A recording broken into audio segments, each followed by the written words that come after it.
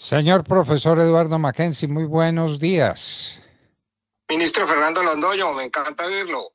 Estoy muy contento de escucharlo y ver esa voz tan firme, tan decidida, tan determinante y clara de usted. ¿Cómo le agradezco todos esos inmerecidos elogios? Bueno, mi querido profesor, aquí estoy con su libro que me ha causado una profunda impresión lo leí en dos sentadas, como decimos por acá. Un libro que uno no lee sino que devora. La crisis colombiana del año 2022. ¿Qué recibo ha tenido su libro en distintos lugares de, de América Latina y en Colombia en particular?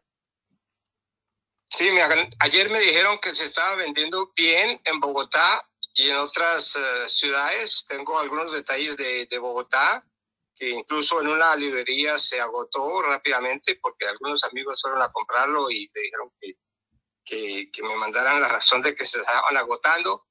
Eso fue una sorpresa muy agradable que, me dieron ayer. Luego consulté con, con, el, la, con la casa editora, quien, quien me confirmó que estaban eh, enviando nuevamente nuevos libros a otras uh, librerías de Bogotá es muy, muy interesante y estoy muy contento por eso. Mm, bueno, pues es que el gran éxito que ha tenido su libro se lo merece con creces. Eh, profesor. No, pero yo quería, yo quería, eh, yo eh, también, eso se debe a, a, las, a los comentarios tan generosos y tan claros de usted en la hora de la verdad y de Mar. Yo soy muy, muy consciente de eso y, les agradezco infinitamente porque vender un libro en Colombia no es cosa fácil, como tampoco lo es en Francia. Luego, ese apoyo de ustedes eh, ayuda mucho al lector y refuerza mi actitud eh, positiva frente a, a, lo que es la labor de escribir y explicar algunas cosas desde acá para Colombia. Entonces, muchísimas gracias, ministro, por esa ayuda tan importante que, me da. No me dé las gracias que me la tienen que dar los lectores de su excelente obra. Es un libro excelente porque sigue paso a paso la manera como usted ha visto y como ha juzgado y lo que ha escrito sobre Gustavo Petro desde tiempo atrás y ahora con motivo de su campaña a la presidencia de la República. Es eh, un libro colosal que no lo deja mentir, porque esta no es una, eh, un recuerdo de situaciones anteriores, sino que usted lo fue escribiendo al calor de las circunstancias en plena marcha, cada vez que Gustavo Petro decía alguna cosa referente a su campaña política y a sus aspiraciones presidenciales. De manera que es un libro vivo, es un libro lleno de energía, lleno de fuerza y merece el resultado que está teniendo si es que el libro efectivamente se vende como tiene que venderse, porque quien quiera conocer a Petro, quien quiera saber de sus intenciones, que quiera poder medir la calidad y la cantidad de sus propuestas, tiene que leer el libro La crisis colombiana del año 2022, escrito por Eduardo Mackenzie. Bueno, profesor, y han pasado mm, varios días. Usted, el último recuerdo que nos hace en el libro es del 11 de marzo, dos días antes de las elecciones. Pasaron las elecciones y en ella ha sucedido lo que ha sucedido. Petro sacó unos votos importantes pero los han multiplicado en el momento de los escrutinios. Algunos hablan de un colosal fraude, otros, el presidente Iván Duque, habla de errores eh, garrafales, me parece que es la expresión que tiene el presidente Iván Duque. Bueno, ¿cuál es la visión que usted tiene de estas elecciones y de la manera como Petro se adelantó a otros candidatos en la intención de voto de, muchos colombianos.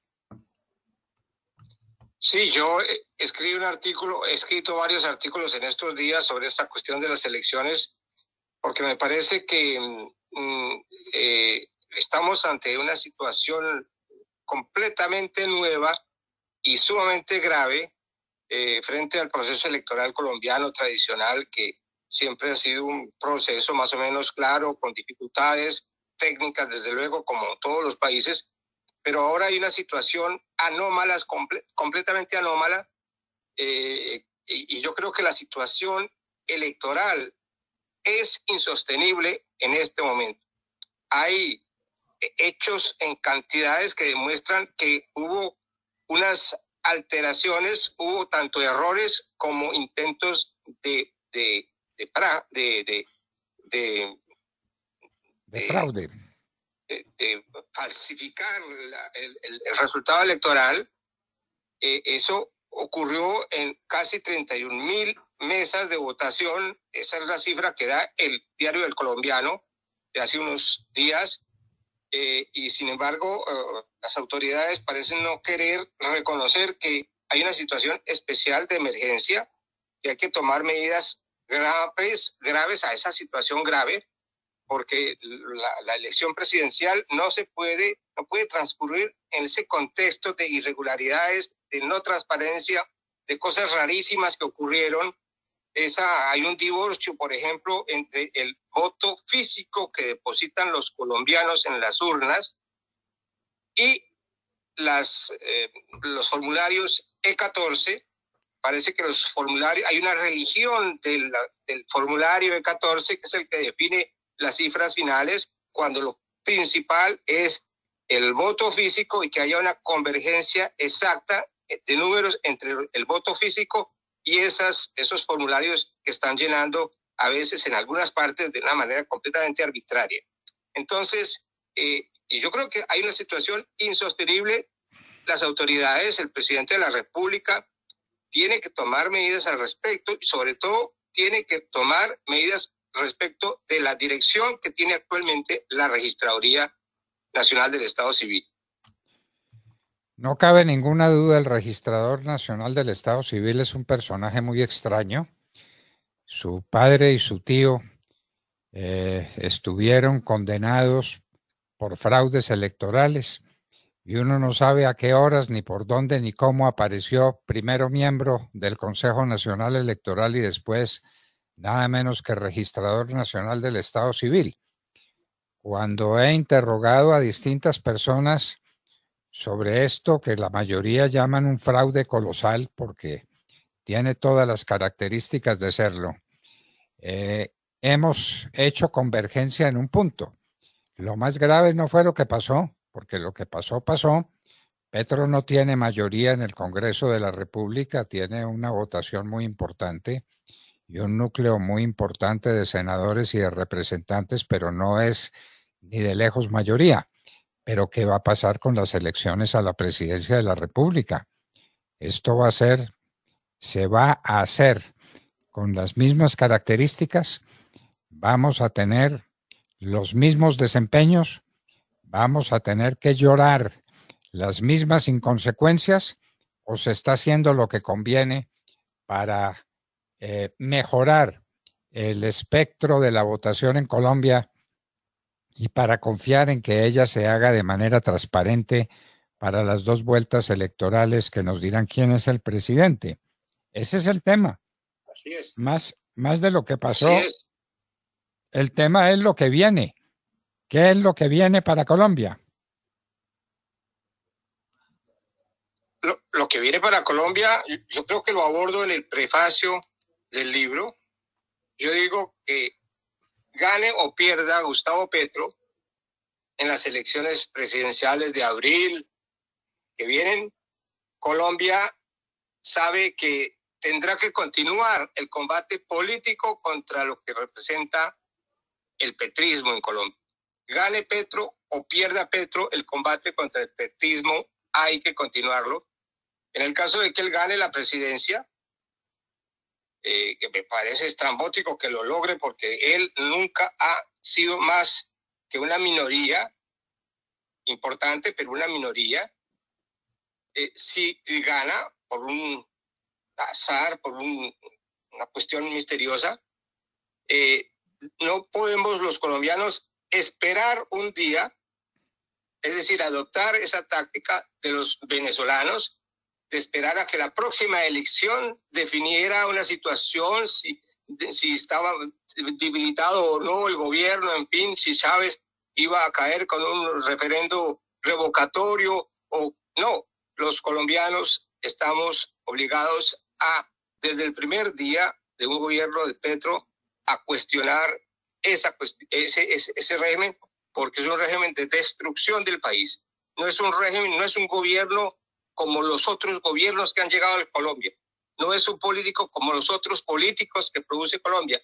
Es, en mi opinión, el señor Gustavo Petro, un agente de una subversión, de un movimiento subversivo que tiene patrones internacionales, que tiene que responde a intereses extracolombianos y los colombianos no podemos aceptar un gobierno que nace de esas coyunturas y de esos compromisos. Entonces, si gana el, el, combate, y, eh, se inicia inmediatamente como han hecho los peruanos. Los peruanos eligieron a un señor de, extrema izquierda eh, y inmediatamente todos se han movilizado y en el Congreso hoy en día hay un, una instancia de destitución de este señor Castillo. Entonces, gane o pierda el combate político, no puede caer un solo día y los colombianos se tienen que movilizar si es que quieren salvar la democracia, las libertades, las tradiciones, eh, eh, el, el, espíritu colombiano, los modos de producción de Colombia. Si queremos conservar todo eso que hace nuestro país, tenemos que luchar, como sea, en donde estemos, allá o acá, donde estemos, pero todos juntos contra, contra ese proyecto. Un proyecto detestable, esto es eh, puro comunismo internacional financiado y dirigido desde Rusia por conducto de Cuba, de Venezuela, de Nicaragua, de los países que ya cayeron dentro de esa órbita y que lo están lamentando y llorando todos los días, porque no ha habido nadie que haya acogido esa alternativa que pueda decir que es feliz y que se siente realizado. Todos esos países están atravesando por unas crisis enormes de credibilidad, de fe en las instituciones y no podemos estar en la lista ya plenamente advertidos como estamos, entre otras, por obras como la suya, eh, profesor Mackenzie, que nos deja bien en claro qué es lo que nos espera si no reaccionamos a tiempo y cuáles son las alternativas que tenemos para impedir que Gustavo Petro gane las elecciones y si las ganare, de qué manera le tendremos que hacer la eh, oposición condigna. Profesor Mackenzie, este es un momento definitivo en la historia de Colombia y de los momentos más peligrosos que el país ha tenido que sortear, ¿no le parece? Así es, así es, pero lo peor y lo que más me preocupa es que aunque la coyuntura es muy grave eh, de parte de la registraduría y del registrador Alexandre, Alexander eh, Vega Rocha. Eh, él no responde, él no responde a esa angustia nacional como debería hacerlo, es decir, dando las garantías mayores a todo el mundo, explicando en qué consiste ese sistema de software de computadores que dice haber adquirido en España a una firma que vende un sistema inventado por venezolanos para hacer prevalecer durante 14 años el régimen de Chávez. Ese aparato, ese software lo compró este señor y lo tiene allí eh, y nunca ha querido explicar y nunca ha querido admitir que una comisión de alto nivel de técnicos examine la configuración interna de ese logiciel, de ese, de ese software, eh, porque eh, se, se, sabe que si e, esa configuración está mal hecha o hecha de manera torticera, los resultados electorales serán falseados, aunque no haya ningún incidente en ninguna mesa de votación. Ese es un problema. La actitud de, de Vega Rocha frente a esto es de una, de una dureza eh, terrible. Por ejemplo, el, el presidente Pastrana lo ha invitado a que se explique y no ha habido ninguna posibilidad de respuesta de este registrador frente a eso. Nosotros hemos escrito muchos artículos al respecto y hay ninguna respuesta. Sin embargo, es decir, en cambio, en cambio, este registrador tuvo el 3 de noviembre del año pasado una reunión cerrada con dirigentes del movimiento de Petro y con Petro, en los que él eh, discutió y les dio y les explicó una serie de cosas con respecto al sistema electoral. De esa reunión salieron muy contentos y desde ese momento para acá ellos nunca han presentado ninguna queja ni, ni hecho ninguna observación con respecto al sistema técnico que está utilizando la registraduría para dar los resultados electorales. Entonces, es, eh, hay una situación de dos pesos, dos medidas, una doble moral que se está jugando frente a un solo partido y de ignorancia y de, y de silencio frente a los otros partidos y, y a, frente a personalidades como el presidente Pastrana. Eh, y luego esa situación hace que, que la actuación de este señor Vega sea completamente anómala, sospechosa y detestable. Más bien sospechosa y detestable no es simplemente anómala, no es un error protuberante, como lo llama el presidente Iván Duque, sino que es la voluntad eh, perfectamente dirigida a producir un efecto. El efecto que se produjo en Venezuela durante tantos años, utilizando un instrumento parecido al que aquí se está manejando, el famoso instrumento de Smartmatic, que le ha permitido al gobierno venezolano quedarse en el poder y ganar todas las elecciones que se hacen, inclusive contra cualquier evidencia.